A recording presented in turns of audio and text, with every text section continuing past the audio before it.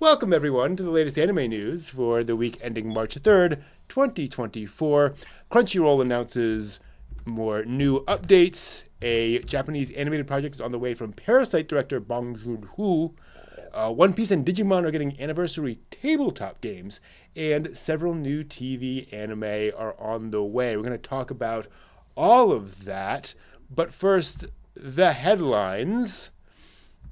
So uh, there's a new anime coming uh, adapting Duel Masters Lost. Now I know all of you, when you think about Duel Masters, you think, well, of course there's going to be a new Duel Masters anime. It's like Bakugan and all the others. Like there's a new one every three months, right?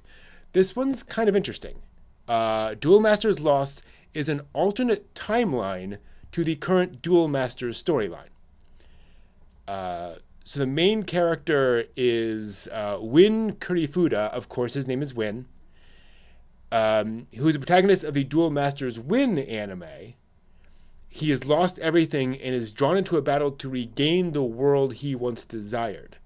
So apparently, like he's on this other timeline and he's trying to win a game, presumably using trading cards, to like change the timelines back which is definitely an interesting way of doing it. I don't I don't know. Um, I'm certainly not against it. It's just uh, interesting. Can you just imagine that the universe has decided on blackjack? oh, you went over 21. Your universe, your your strand is gone. Bye. no. no. Anyway, Steve. So we have a, a, a this is actually kind of fun. Yeah. So here we have um, Hiro Segura's. I, I'm you know my Japanese is horrible. I apologize.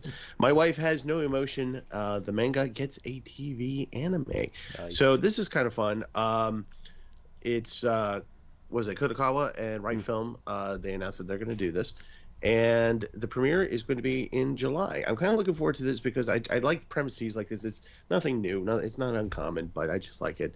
Wherein a uh, dude who's a workaholic and he has no life, he's kind of just like a, you know, couch potato, whatever, and he doesn't want to do chores because who wants to do chores? Sure. If you should see my kitchen sink right now, you would understand why.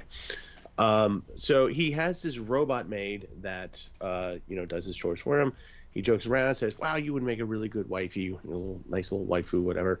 And the the robot, being a robot, uh, Mina-chan, uh, says, "Oh, well, this must be my new directive now. I must act like a wife." Ah. So hijinks ensue, and do they fall in love?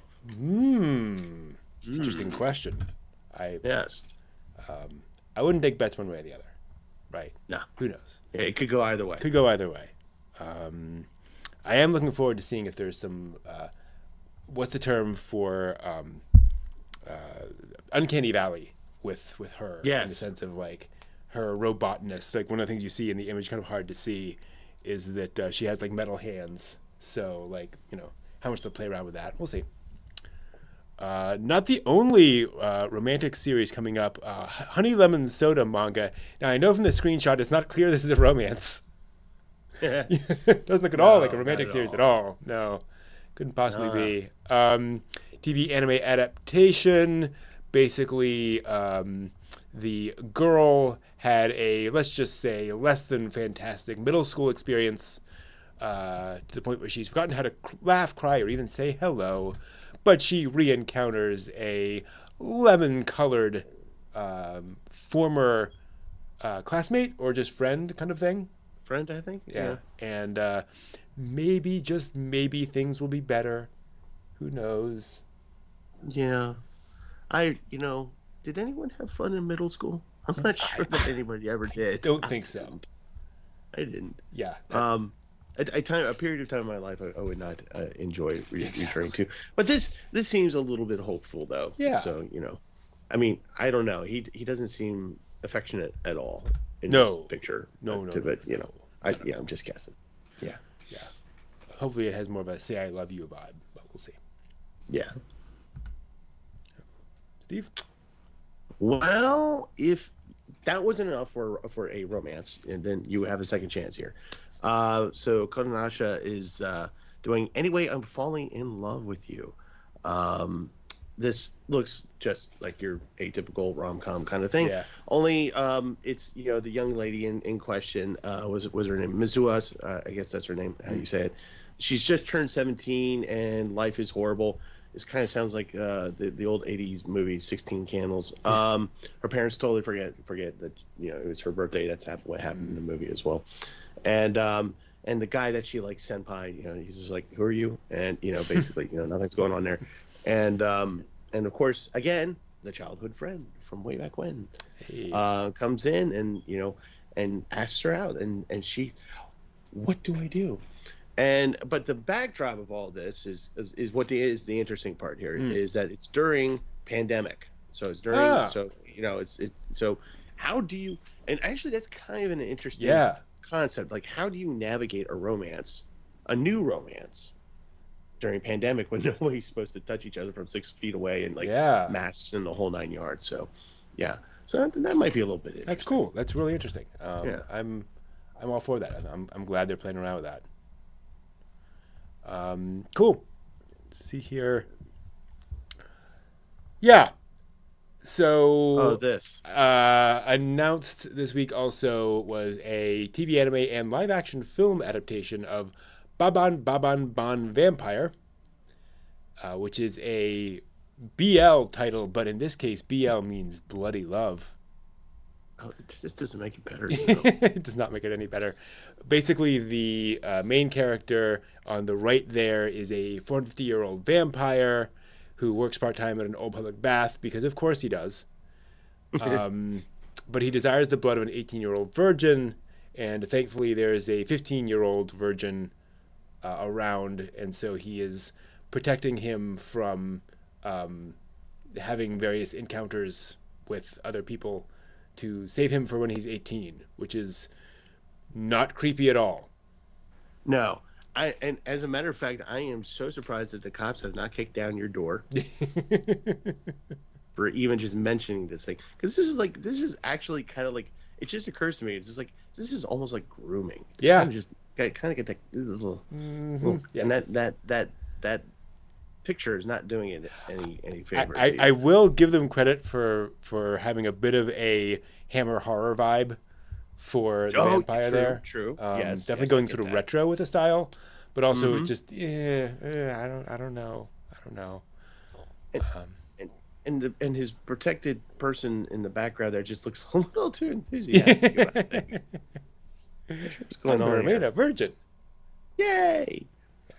No. No, no, this is this is actually not good. Um,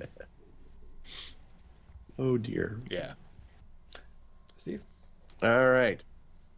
So a gaming company, Kessco, is joining forces with uh was that uh Toei? Is that Toei? Yeah. Yeah, Toei, to for the 25th anniversary of providing a a table tabletop game for both One Piece and Digimon. Hmm. So on the one hand, if you want to play a tabletop game of a long long standing franchise, there there's One Piece, and if you like Digimon, well, there you go. Yeah. It's, it's more games for Digimon. What? Um, quick question. yes. Doesn't Digimon already have a tabletop game called Digimon, the card Digimon? game? Yeah, I know, but Okay. you know, Just checking. I look, I, I got a, I, I got a niece who's really big into Pokemon, and it, all you have to say is Pokemon, and that's it. That's that's, that's all you got to do. It could be a retread, five retreads of the same thing, and that "Grr, I want it. That's how they that's how they react. So it's Digimon. So if you're a Digimon, Okay. when we were at Gen Con, did we actually see that that that was that the was it Digimon that they were doing the the the world? Yeah, I think they were. Yeah. Man, that was intense. Mm. I wish I had the picture of that. It was Yeah. two dudes just going at it. But anyway, uh, back to the news. Um, so yeah, yeah, believe it or not, we are actually there doing news. Um, yes, you, they they will um, uh, debut these tabletop games for us, for those who are, who are fans of this, and um, yeah, they're gonna just keep you know punching out these games for everybody. Um, oh, and the Digimon trading card game is actually getting a webcomic out of it as well, Ooh, yeah. called Digimon Liberator. Cool. Um, Wow. so it's Wonder kind of what the asks mecha's gonna look like. in uh, in chat. So I'm assuming the One Piece game takes about 20 years to play. Well, that's for, just for the first round. The first round, It right? goes a little. It, it goes a little bit quicker after after the first round, from what I understand. Fair enough. Yes. Oh dear. Um, all right. After the head, after the data, we will be talking about an animated project from the director of Parasite, uh, AI subtitling at Crunchyroll, plus some information on the more on the Funimation Crunchyroll uh, melding situation there. And uh, yeah, but right now, let us switch over to the data. The-